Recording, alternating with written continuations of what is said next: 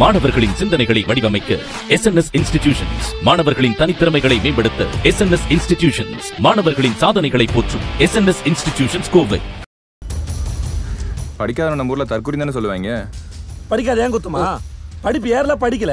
திறமைய பாருங்கயா பொண்ணை வச்சு வாழ்வானான்னு பாருங்கயா விஜய் டெலிவிஷன்ல பிரைம் டைம்ல ஓடிட்டு இருக்க சீரியல்ல ஒன்னான பாக்யலட்சுமி சீரியல்ல பாக்யாவுக்கு கோபி தான் ராதிகாவோட லவர் அப்படிங்கிற விஷயம் தெரிய வரப்போதான் பாக்யலட்சுமியில கோபி அப்படின்ற கேரக்டர் பண்ணிட்டு இருக்க சதீஷ் தான். இனிமே சீரியல்ல நிறைய ட்விஸ்ட் அண்ட் டர்ன்ஸ் எல்லாமே நடக்க போகுது அப்படிங்கிற விஷயத்த ஷேர் பண்ணிருக்காரு ஐநூறு எபிசோட்ஸ் தாண்டி இருக்க பாக்யலட்சுமியில பாக்யா கிட்ட இருந்து ராதிகா தான் தன்னோட லவர் அப்படிங்கிற விஷயத்த ரொம்ப நாளா மறைச்சுக்கிட்டே இருக்காருல்ல. அதுக்கு பின்னாடி என்ன பித்தலாட்டோ எவ்வளவு பொய்கள் எல்லாமே சொல்லியிருப்பாரு. சோ இப்போ ஐநூறு எபிசோட்ஸ் தாண்டி இருக்கிற நிலையில இனி பாக்யாவோட சைடு நாங்க காட்ட போறோம் அப்படின்னும் இதுக்கு மேல கொஞ்சம் சீரியல் சீரியஸா போகும். அப்படிங்கிற விஷயத்த தான் சொல்லியிருக்காரு. ஒரு சைடு வந்து ராதிகாக்கு கோபி தான் பாகியலட்சுமியோட ஹஸ்பண்ட் அப்படிங்கிற விஷயம் உங்களுக்கு தெரிய வந்திருக்கு.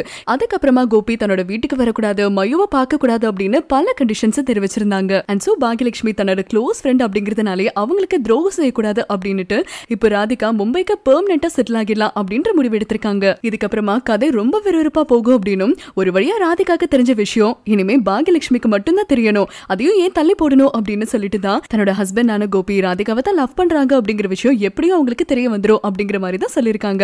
ஸோ இதுக்கப்புறமா பாகியலட்சுமி சீரியலில் பொய் பித்தலாட்டம் இது எல்லாத்தையுமே தள்ளி வச்சுட்டு கொஞ்சம் சீரியஸாக போகும் அப்படிங்கிற மாதிரி தான் சதீஷ் தரப்பிலிருந்து தெரிவிச்சிருக்காரு. ஐநூறு எபிசோட்ஸ் தாண்டி இருக்கிற பாகியலட்சுமியில் இனிமேல் பொய் பித்தலாட்டம் எல்லாத்தையுமே மூட்டை கட்டி கோபியோட எல்லா விதமான விளையாட்டும் இப்போ முடிவுக்கு வரப்போகுது இதே மாதிரி தான் ஜி தமிழ்ல பிரைம் டைம்ல ஓடிட்டு இருக்க ஒரு சீரியல் அன்பே சிவம். இந்த சீரியல் பாத்தீங்கன்னா கிட்டத்தட்ட two hundred and forty five episodes complete பண்ணிருக்கு சீரியல் ஸ்டார்ட் ஆகி கிட்டத்தட்ட ஒரே வருஷத்துல இந்த சீரியல் முடிவுக்கு வரப்போகுது அப்படிங்கிற விஷயம் தான் சோஷியல் மீடியால சர்க்குலேட் ஆகிட்டு இருக்கு ஜி தமிழ்ல புதுசா ரெண்டு சீரியல்ஸ் டெலிகாஸ்ட் பண்ண போறாங்களா? அந்த சீரியல் ரெண்டுமே பிரைம் டைம்ல தான் டெலிகாஸ்ட் பண்ண போறாங்க அப்படிங்கிற மாதிரி சொல்லிட்டு இருக்காங்க இதனால அன்பே சிவம் சீரியல் தான் முடிவுக்கு வர இருக்கு அப்படிங்கிற மாதிரி தகவல் வெளியாகிட்டு இருக்கு நான் சொன்ன இந்த ரெண்டு சீரியல்ஸ்ல எது உங்களோட ஃபேவரட் அதுக்கப்புறமா எதுல இந்த மாதிரி ட்விஸ்ட் அண்ட் டர்ன்ஸ்ல நடந்தா ரொம்ப நல்லா இருக்கும் அப்படின்னு சொல்லிட்டு மறக்காம கமெண்ட்ஸ் பண்ணுங்க ஷேர் பண்ணுங்க. தொடர்ந்து அப்டேட்ஸ்க்கு இந்தியா கிளட்ஸோட இணைஞ்சிருங்க. நீங்க ஒரு ஷார்ட் பிலிம் டேரக்டரா உங்க திறமையை அந்த உலகத்துக்கு காட்டணுமா? அது கூட பணமும் கிடைச்சா? உங்க திறமையை ஃபைவ் பாயிண்ட் செவன் மில்லியன் பேருக்கு காட்டுறதுக்கு ஒரு அரிய வாய்ப்பு. உங்களோட short பிலிம்ஸை short films at India dot com இந்த இமெயில் ஐடிக்கு அனுப்புங்க. உங்களோட கனவை நினைவாக்குங்க.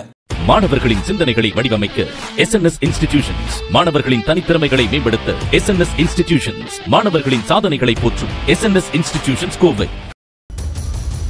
படிக்காதவன் நம்ம ஊர்ல தற்கொலை தானே சொல்லுவாங்க? படிக்காத ஏன் குத்துமா? படிப்பு ஏறல படிக்கல. திறமைய பாருங்கயா பொண்ணை வச்சு வாழ்வானான்னு பாருங்கயா